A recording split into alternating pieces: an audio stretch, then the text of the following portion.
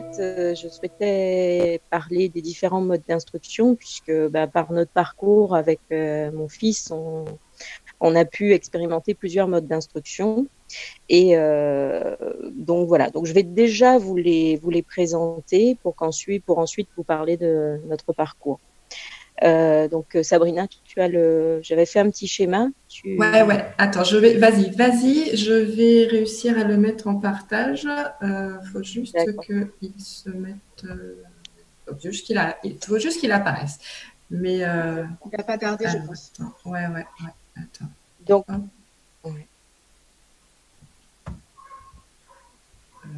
Hmm. Bon, petit problème technique, on a la poisse, c'est pas grave. Ah, tu.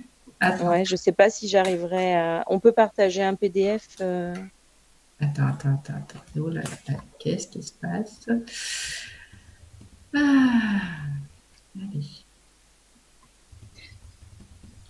Tout va bien. Euh, Vas-y, parce que là, manifestement, bon. ça ne veut pas. On aura tout. Alors, euh, bah, je vais vous présenter donc les différents modes d'instruction. Donc, euh, bah, tout d'abord, évidemment, il y a l'école publique ou les écoles privées euh, sous contrat de l'éducation nationale. Donc, celle-ci, je ne vais pas trop m'attarder puisque effectivement, c'est le modèle le plus répandu et celui que on connaît tous. après, il y a deux autres formes d'instruction.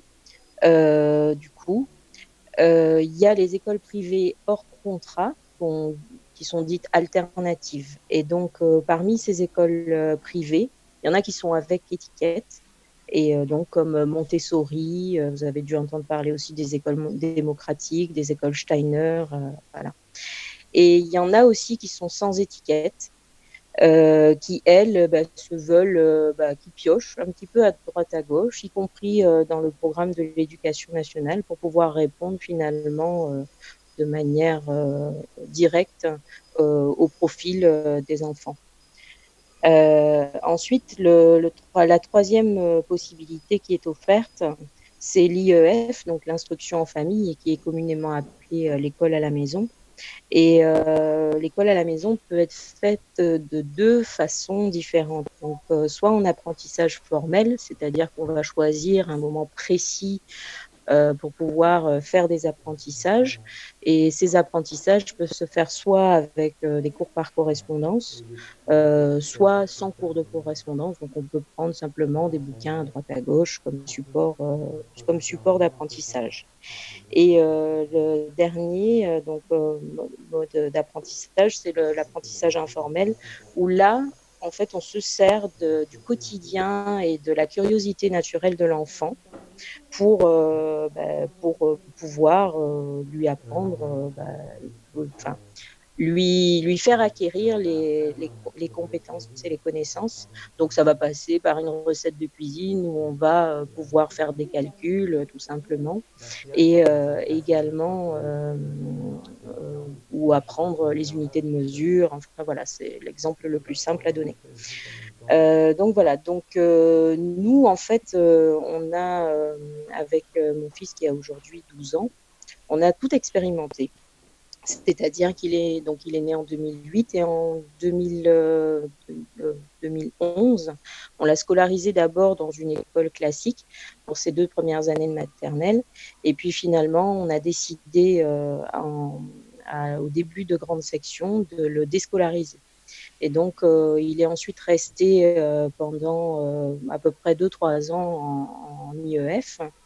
Ensuite, bah, moi, ça me tenait à cœur de, créer une petite école alternative, donc sans étiquette, puisque justement, bah, au niveau, j'ai pas de pédagogie que il n'y a aucune pédagogie qui me paraît euh, sortir plus du lot puisque pour moi, euh, c'est plus une question d'adapter euh, au profil de l'enfant. Et donc, bah, cette petite école est restée ouverte de septembre 2016 et jusqu'à novembre 2017. Et en novembre 2017, on a dû fermer les portes faute de moyens. Ben, du coup, on a basculé en IEF, en, IEF pendant la fin de l'année. Et en désespoir de cause, ne trouvant plus d'autres solutions qui nous conviennent, on a fini par partir en métropole, donc à partir de la rentrée de septembre 2018, rejoindre une petite école alternative donc qui était dans le courant, je dirais, de l'école démocratique. Euh, bah, malheureusement, cette petite école aussi euh, bah, nous a annoncé en janvier, euh, quelques mois après notre arrivée, bah, qu'elle allait fermer ses portes à la fin de, l'année scolaire. Et moi, n'étant pas satisfaite de ce qui se passait, parce qu'il y avait un petit peu de cafouillage au niveau de la direction et au niveau de l'enseignante, du coup, j'ai enlevé mon fils et du coup, je l'ai scolarisé dans la petite école publique du village dans lequel on avait atterri. Et, euh, et finalement, bah, ça s'est très bien passé euh, dans, dans, cette petite école, puisque euh, c'est une petite école rurale euh, à multiniveau, donc trois niveaux, CE2, CM1, CM2, avec un maître très très bienveillant. Et, euh, et donc, bah, il est, notre fils y est depuis, euh, depuis un an, un peu plus d'un an, et ça se passe très bien, et il est très heureux. Donc voilà, donc bon, j'imagine effectivement qu'il y a beaucoup de, personnes qui doivent se dire oh là là, euh, quel parcours, euh, pauvre enfant. Mais en fait, non, bizarrement, euh, c'est plutôt l'inverse qui se passe. moi, j'ai aucun regret parce que finalement, bah, notre fils bah, a pu toujours s'adapter aux situations qui lui ont été présentées parce que bah, on a toujours été à l'écoute en fait de ses besoins et de son équilibre. Et donc, euh, bah, justement, cette recherche qu'on avait d'une euh, d'un mode d'instruction adapté pour lui euh, bah, a toujours fait en sorte de répondre à cela. Et, donc, ça a toujours été une question d'opportunité qui s'est créée au fil de l'eau. Voilà. Et donc, et donc bah, le témoignage en fait que je peux apporter par rapport à ça. Alors tout d'abord par rapport à cette crise euh, du Covid, euh, bah, c'était de dire quand même aux familles de ne pas paniquer puisque nous on est resté en dehors, euh, enfin malgré ce, ce parcours bah, très atypique. Bah, notre fils se porte très bien. il, il a pu acquérir cet apprentissage bah, à son rythme, euh, à un rythme qui n'est pas tout à fait celui de l'éducation nationale. Euh, pour certains aspects, il a, été moins vite. Pour d'autres compétences, il a été plus vite. Enfin voilà. Donc euh, voilà, c'est pas deux mois euh, de, Covid qui vont faire que ça va mettre en péril euh, vraiment l'éducation de nos enfants. voilà. Donc c'est pour ça déjà d'apporter ce message-là. Et euh, sinon, en ce qui concerne bah, moi, mon ressenti par rapport à ces différents modes d'instruction, euh, bien, je pense que chaque famille, enfin chaque parent devrait réfléchir au modèle qu'il veut incarner en fait, au modèle familial en tant que cellule familiale, pour pouvoir décider euh, quelle est vraiment la solution qui lui convienne et ne pas forcément rester sur ce sentier commun. Euh, parce qu'effectivement, on peut vivre vraiment de belles aventures, euh, que ce soit en IEF ou en école, euh, privée, enfin en école alternative. Et, donc, par exemple, bah oui, tu faisais circuler la petite photo donc sur le mythe et la réalité. Beaucoup de gens pensent, par exemple, que l'IEF c'est mettre un enfant dans un bocal, et en fait non, c'est plutôt le mettre à l'école de la vie finalement. Et, euh, et aussi parce qu'il y a des réseaux de familles UEF qui se créent et qui créent des activités communes. Et donc, euh, bah, quelque part, les enfants ont l'occasion de créer euh, des relations ben, différentes, en fait. Des, relations de, de, meilleure qualité que celles que parfois ils peuvent créer dans des établissements plus grands, en fait, où finalement l'échelle est trop grande et que il y a des rapports de force qui peuvent se créer et, euh, donc ben voilà.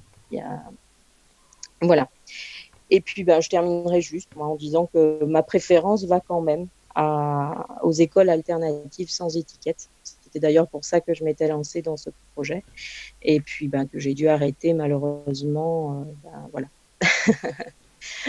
euh, faute de moyens, comme je disais. Voilà pour mon petit témoignage.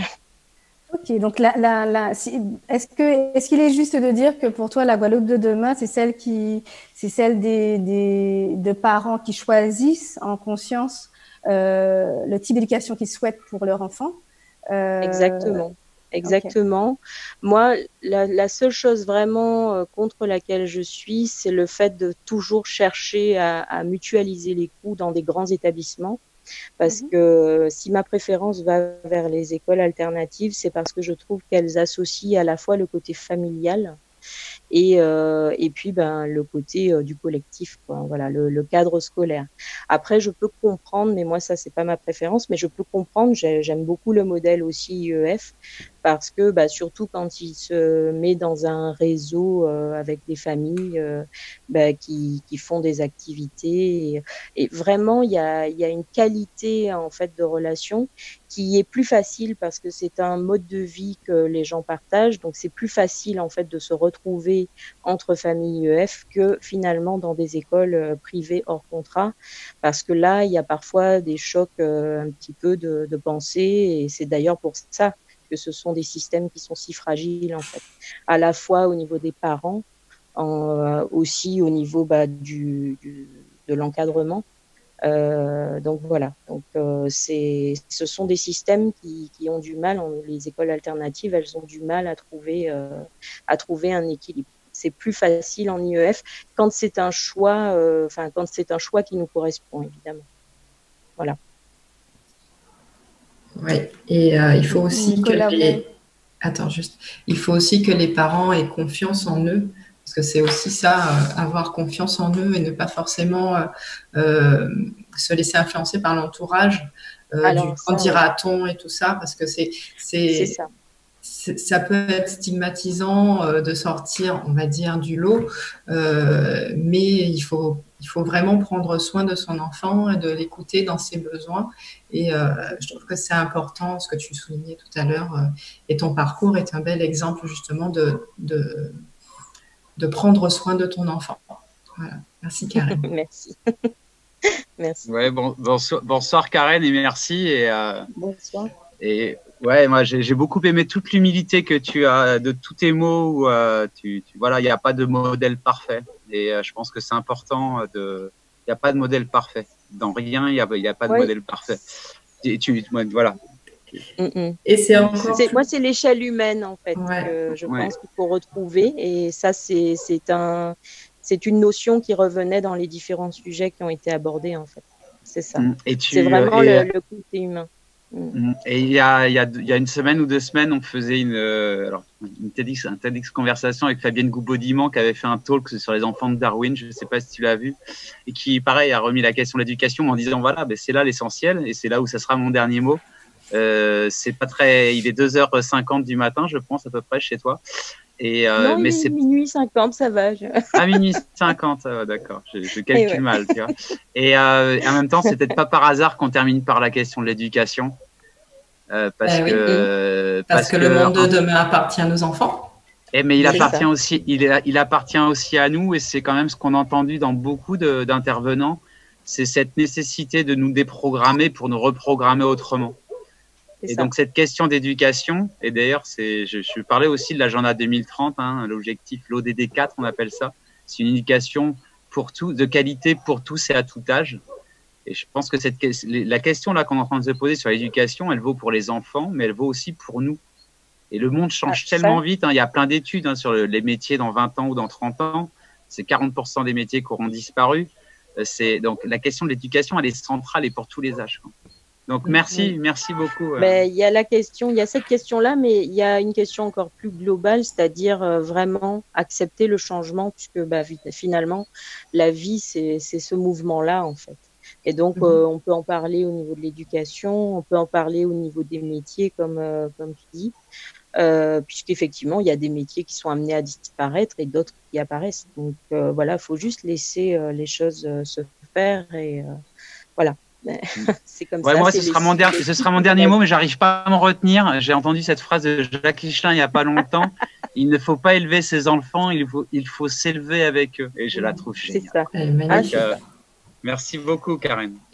Merci Karen. c'est mon plus grand enseignant. Alors, une petite, une petite, euh, une petite remarque. Euh, il est déjà demain pour toi. ah oui. Ah, le qui, qui, fait, un petit clin d'œil, voilà. Alors, il y a une chose. Alors, moi, je vais juste dire une chose, justement, parce qu'en disant je suis en avance, ça me fait penser à quelque chose. Parce que quand j'ai créé l'école, euh, donc en 2016, j'avais plein, plein d'idées révolutionnaires. Et en fait, euh, à un moment, je me suis dit, mais enfin, voilà, à un moment, on peut pas marcher devant et euh, finalement laisser tout le monde derrière, parce que marcher trop devant, eh ben, on est, bah, on marche seul. Et la deuxième expérience dans l'autre école alternative, euh, je me suis rendu compte que finalement, il fallait peut-être des fois revoir à la baisse euh, certains de nos objectifs, en tout cas au présent, en, tout en gardant en point de mire euh, nos objectifs à la base.